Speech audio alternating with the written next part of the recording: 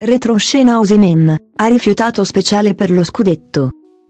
Victor Osimen continua a indossarla perché ormai non sa più vedersi senza. In campo quando segna la toglie subito.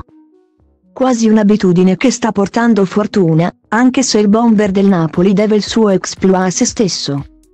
Eppure la maschera protettiva è parte di lui nonostante potrebbe ormai anche toglierla. La indossa dal ritorno in campo dopo l'infortunio con l'Inter del 21 novembre 2021 dopo uno scontro aereo con Skriniar. Il chirurgo Crow però ha svelato che in quell'occasione Osimena ha anche rischiato di perdere la vista.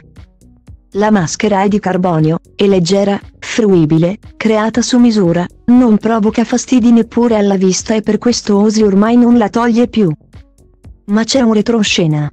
Il retroscena sulla nuova maschera per Osimen lo ha svelato proprio il dottor Roberto Ruggero.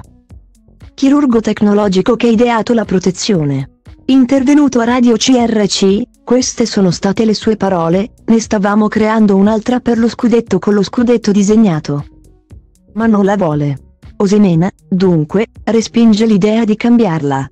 Vuole continuare a segnare con la protezione che tanto bene gli sta portando da ormai oltre un anno. Lo chiamano in tutti i modi, anche superiore, e la maschera è diventata di tendenza, la vendono all'esterno dello stadio Maradona.